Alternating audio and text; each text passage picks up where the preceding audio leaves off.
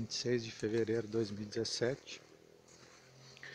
Ontem à noite eu retirei as três capturas de jataí da temporada que eu consegui, minhas primeiras, e coloquei elas aqui no local onde vão ficar as caixas definitivas. Essa aqui é uma outra que eu já tinha transferido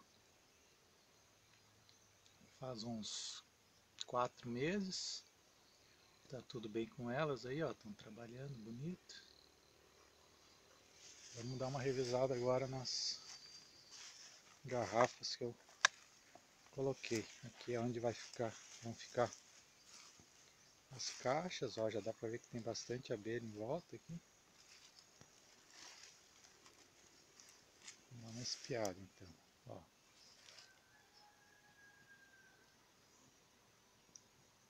Caixa parece estar bem forte.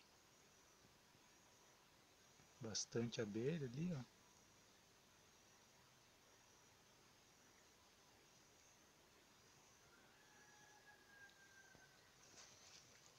Outra caixa essa aqui.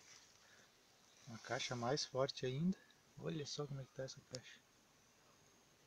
É uma isca na verdade, né? Uma isca de garrafa d'água de 5 litros. E olha como tá forte essa isca. Eu tava pensando em deixar aqui até eu voltar na próxima vez para fazer a transferência para caixa. Mas desse jeito eu acho que vou fazer hoje, hoje pela tarde mesmo. Essa aqui é a terceira. Também tá bem forte, olha quantas abelhas.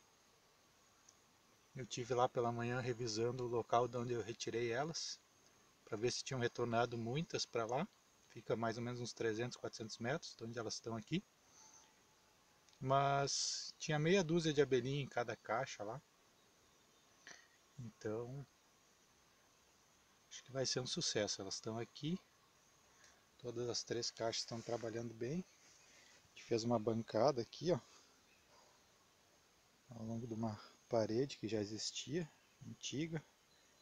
Isso aqui era onde meus nonos criavam os, os porcos aqui, né? Engordavam os porcos era um galpão, na verdade, aqui atrás é um piso, tudo, só que agora já está tudo desmanchado. Aqui é tudo mato aqui para cima, um potreiro, morro.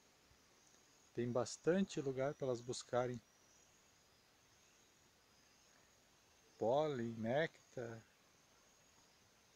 enfim, para elas se alimentarem, né? Aqui é um parreiral. E olha só, tem muitas flores nativas ali, ó.